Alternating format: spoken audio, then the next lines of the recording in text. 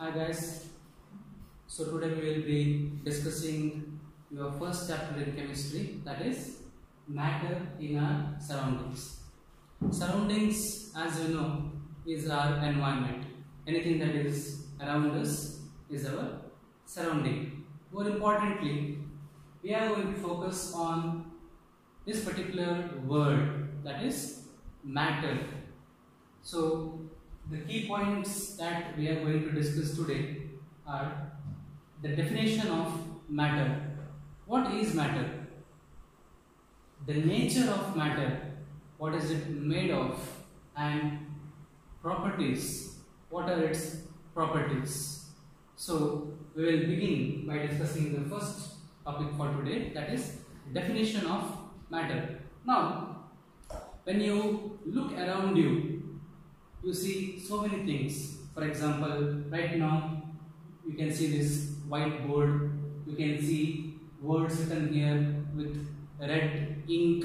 You can see this duster. You can see this marker pen. You can see me, the chair, etc. Around you can see animals, trees, stone, air, water, etc. etc. etc. All these, dear friends, is nothing but matter. So, in short, everything around us is matter. Everything, whatever we see around us is matter. The question is, what exactly is matter? How do you define it? Right? So, now let us look at this duster for example. Okay? This duster has a particular shape rectangular shape. So that is its physical nature, physical property, what you are able to see.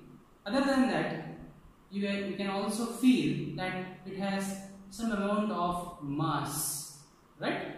So it has a shape and it has mass. Now when I talk about shape, which means if I were to place it over here, it would occupy a certain amount of space or area. Mathematically, we can call it as volume. So now, pay attention.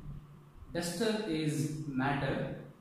It occupies space and it also has mass. So now, for something to be called matter, it should have two things it should have.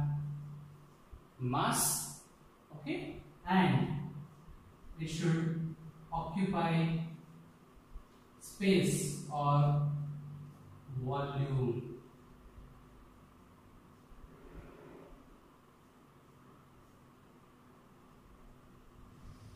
Right? So that is your definition of matter. What is matter? Matter is anything that has mass and that occupies space. So that is your definition of matter. So if one were to ask you what is matter?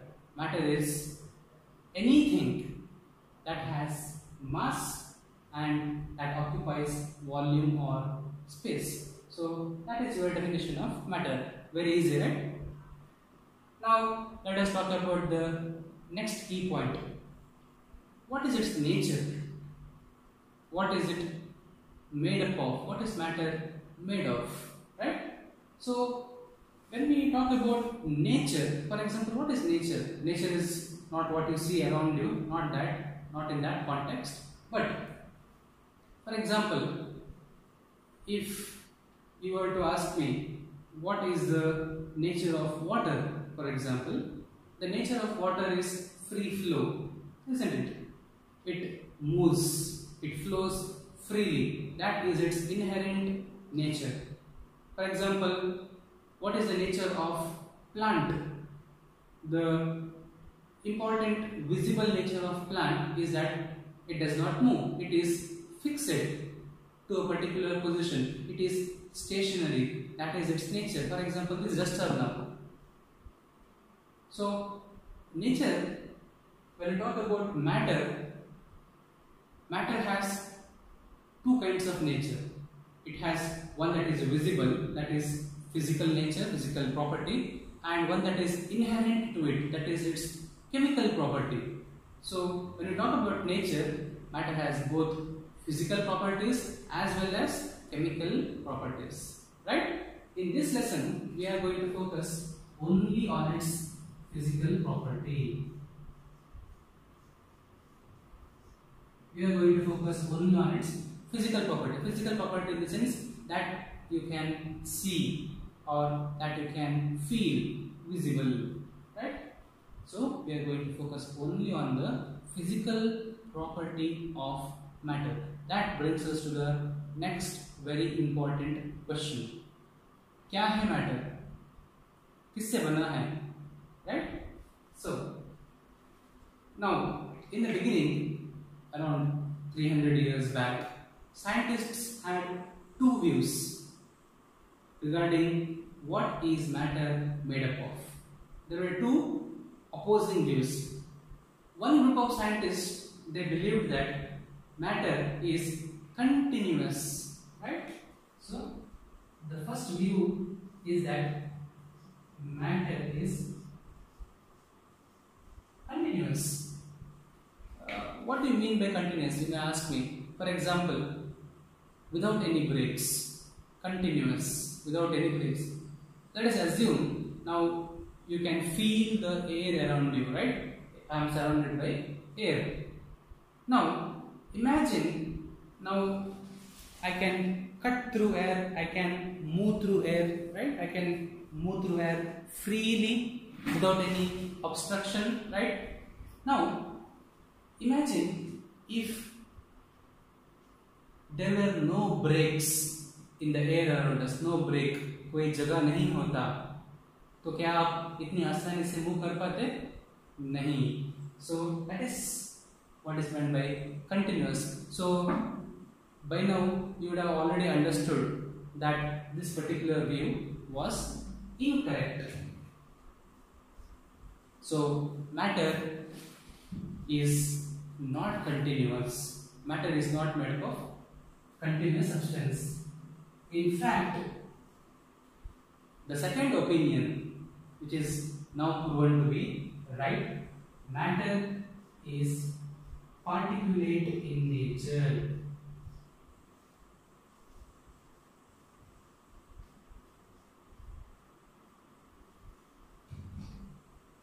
So, this is right particulate. What do you mean by particulate?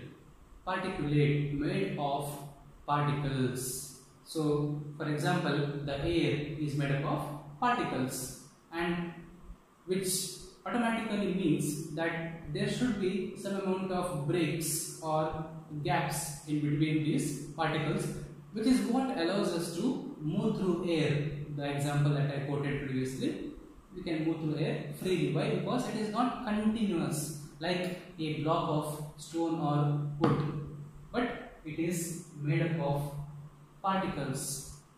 So we have a small activity that we can do to show that matter is particulate in nature. That is, matter is made up of particles. So this is a very simple activity that you can do.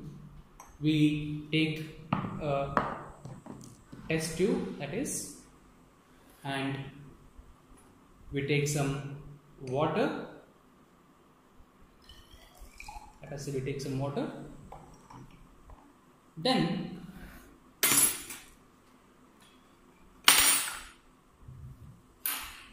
right? So now what we'll do is we will mark this level of water over here. We'll just mark it here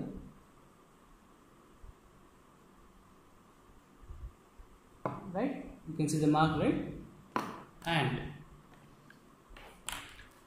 so as you know test tube is matter right? And the water inside the test tube is also matter because it has certain amount of mass and it occupies volume. So what we'll do is to this test tube of water using a spatula we are going to add this blue colored powder blue colored crystals.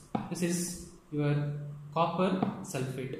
Okay? CuSO4 so I'm not going to wait. I'm just going to add quarter of spoon of copper sulfate. Okay? And then using a glass rod glass rod we are going to stir it. Okay.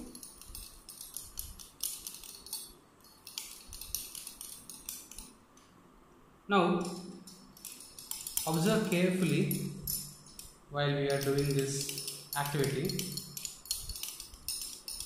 We had water that is matter and then we added a quarter spoon of blue colored copper sulfate crystals. And we have to stir it till the time it is completely dissolved in the water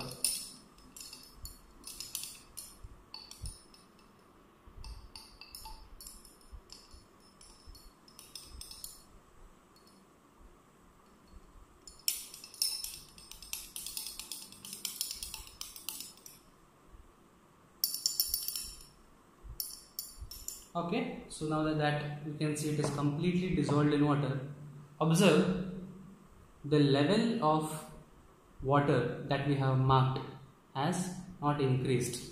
You would expect that when you add something basically when you add the copper sulfate crystal to water you would expect the water level to increase but the water level has not increased. Why is that? That is because what has happened here is the water is made up of small small particles small particles and crystals is also matter that is also made up of small particles. The particles of copper sulfate have gotten into the spaces between the water particles. For example if let us say you have a test tube of water and let us say this is the initial level and water is made up of water particles. Right? And to that you added your copper sulfate CuSO4 blue colored crystals and mixed it properly this copper sulfate is also made up of particles. Now, these particles, what has happened to them? Why is the level still the same? Because the copper sulfate particles, they have gotten in between the spaces of water particles. So now this is a very simple activity but it tells us so many important points which we will discuss in a short while from now. This activity basically proves that matter is particulate in nature, matter is made up of particles. So that brings us to the next key point that is what are the properties of these particles? Okay. So now that we know matter is made up of particles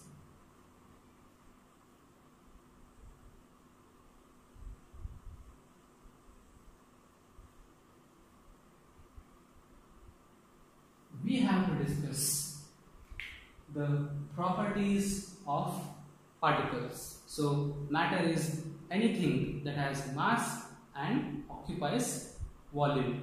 What is matter made up of? Matter is not continuous, it is made up of particles. The next question that we have to ask is what is the nature of particles? What are the properties of particles? Right? So, as you would have already seen in this particular activity, the first property of particle is very clear. Particles are very small.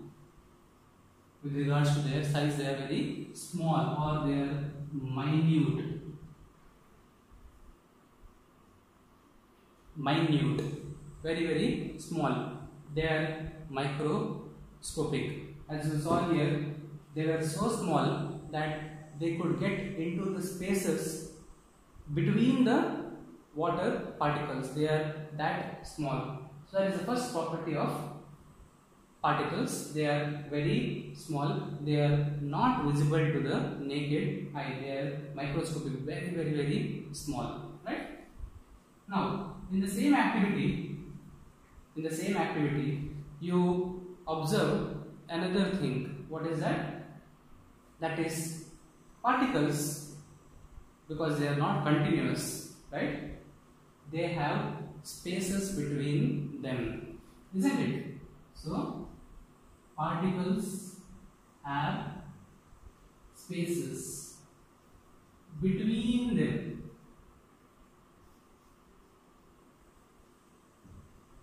For example let us say this is one particle another particle another particle. Or if you want to make it closer also you can do that as you will see there are spaces between them. And because of that reason only the copper sulfate crystals could get into the in between the spaces. Why? Because there are spaces. So that is the second property of particles. Particles are small number one. Number two particles have spaces between them. Isn't it right what is the next thing that you can observe? For that we have to do another very simple activity to come across the third property of particles. Okay? It's a very simple activity. Once again we would be needing water. Okay? So we are going to take a test tube of water and then for this activity we would require your ink okay and a dropper. It's a very simple activity. So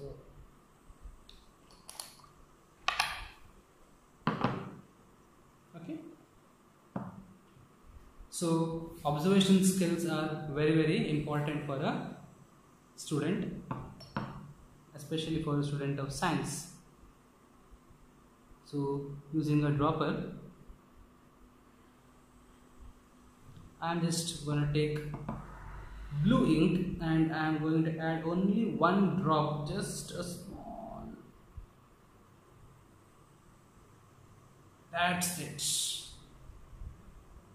Okay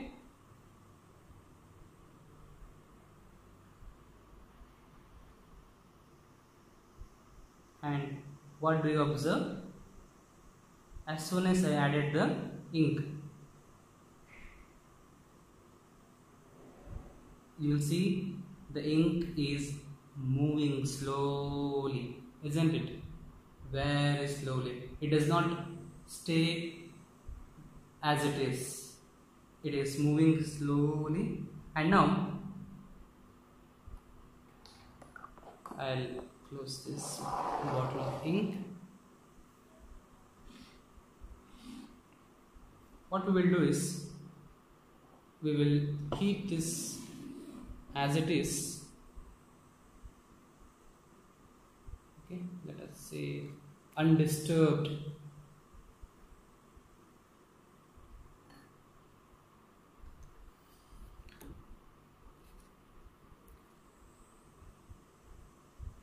okay. So we get our very carefully.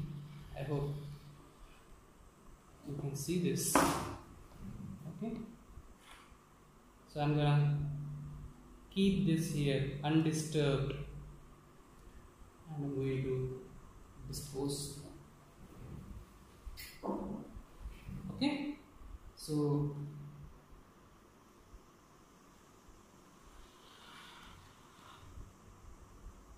as you can see the particles are moving and after some time they will be completely dispersed. So with this activity, with a very simple activity, we come across the third property of matter that is particles are moving, they can move, right? Not only that, you can see they still continue to move. They don't move and stop, okay? They continue to move. So they are continuously moving. Continuously moving. Of course, this is not always true. There are some particles which cannot move continuously, which we will discuss in the next class, right? So, for now, the third property of matter is particles can move and they are continuously moving as you can see. You see? So, when we talk about movement, right? For something to move, it has to have certain amount of energy, isn't it? So, the energy associated with motion or movement is that of kinetic energy, isn't it? The energy that is related with motion, kinetic energy. So, we can say that particles possess kinetic energy.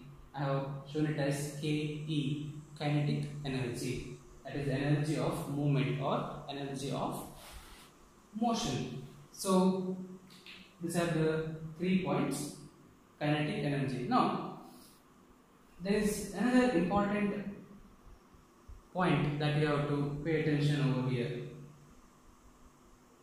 Just to give you an example. For example, you want to make a hot cup of tea. Okay. So what do you do? You go to the kitchen. You take a pan. You put water into the pan. That's how you do tea. And you switch on the gas. Don't forget to switch on the gas, right? So uh, you see, you have kept the water for boiling. In the initial few couple of minutes, you don't see much movement in the water pan.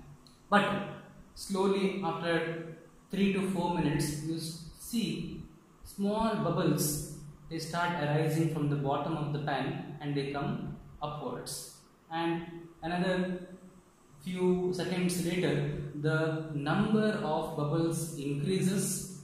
Not only that their movement becomes more faster right? Bubbles keep coming up like this and their number will increase. And another minute or so you see the entire pan is filled with bubbles and that is when I add sugar and then I add after a few uh, seconds I add my tea powder and then I add milk at end and. The point here is initially you wouldn't observe the bubbles but after 3 or 4 minutes you see bubbles and then their number increases number of bubbles increases and their movement the frequency of them arising and their speed, their movement increases. The entire the bubbles come from bottom up like that, right? So, what we learn from this particular example is that definitely particles are moving, they have kinetic energy, but when temperature increases, when temperature increases, kinetic energy will also increase. In the beginning, the pan wouldn't be that hot, temperature is less, but as it becomes hotter and hotter, temperature increases, particles also start moving faster because they they gain energy, their kinetic energy increases. Now, you see, they are moving, moving, moving, and if I were to shake this okay swirl it I am increasing the energy and see now I decide to give it a shake.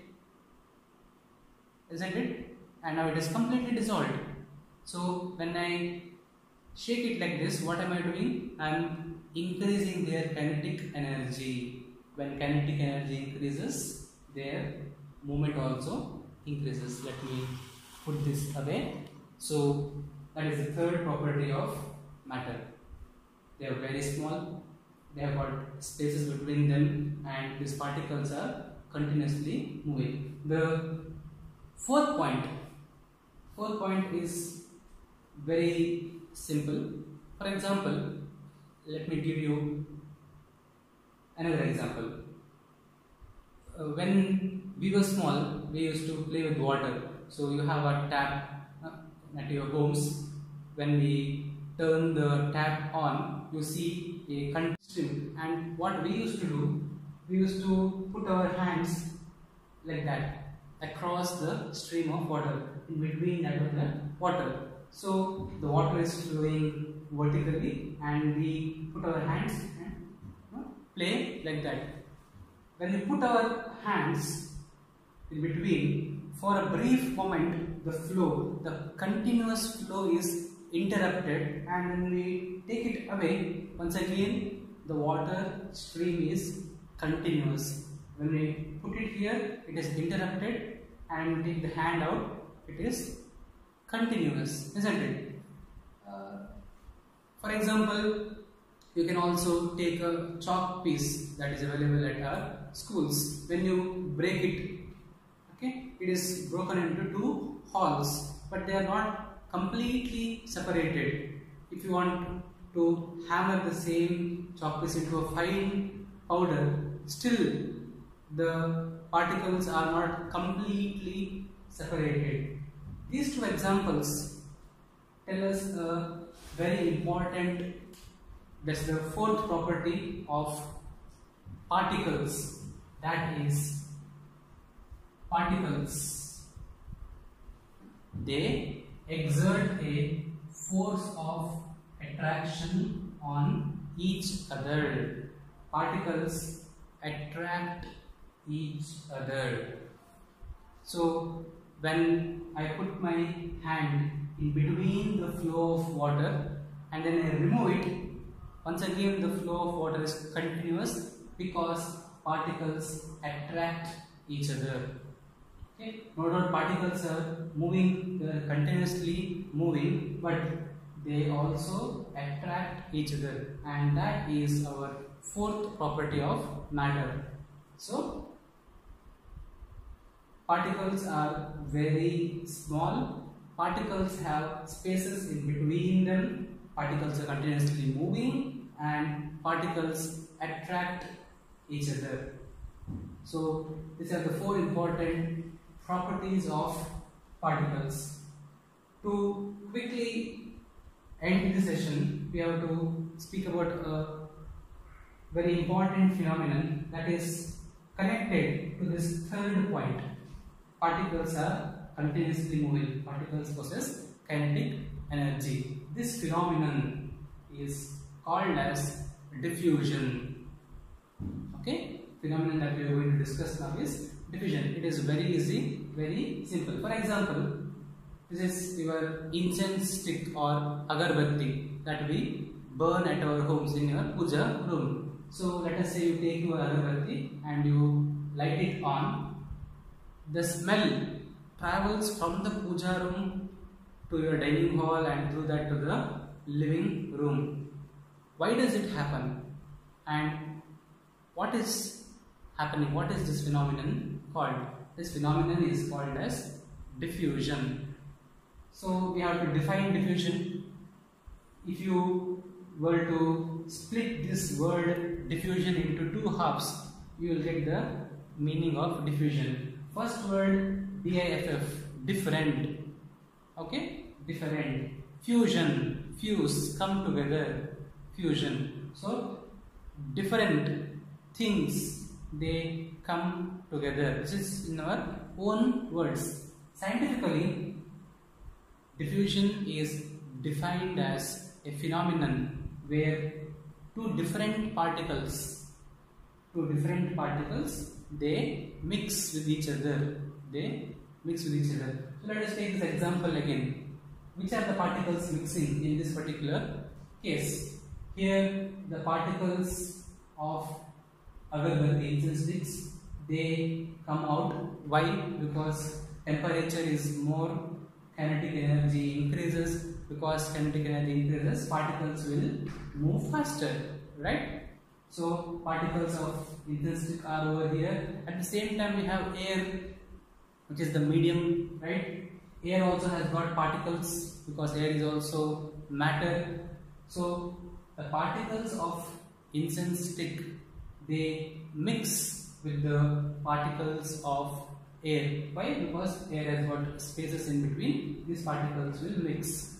This intermixing of different particles different particles on their own on their own is defined as diffusion. So diffusion is nothing but intermixing of different particles on their own right and you would have observed this by now as temperature increases diffusion will increase. As temperature increases, diffusion will increase. For example, we have two agarbattis, one that is not lit, that is not burning, and another agarbatti is burning. So, in these two cases, in which case will you observe the smell to travel farther and faster? Obviously, in this case, right? Why? Because the agarbatti is lit. So, temperature is higher. So kinetic energy is higher. Particles can travel faster and farther. In the other case where the agarbatti is not lit temperature is less the movement of particles is less therefore diffusion is also lesser. Right? So this diffusion is related to the movement of your particles. So that is our end of discussion for today's session. To quickly summarize what we have discussed in this session, beginning we discussed the definition of matter. Now we know that everything around us is matter. Matter has mass and matter occupies volume or space. Matter is made up of particles. Matter is particulate in nature. And then we went on to discuss about the properties of particles. Properties of particles. Particles are very small. Particles have spaces between them. Particles are continuously moving. Which is due to their kinetic energy. As temperature increases kinetic energy will increase their movement will increase diffusion also increases and particles they attract each other. So these are the four properties of matter. So I will see you guys in the next session. Thank you.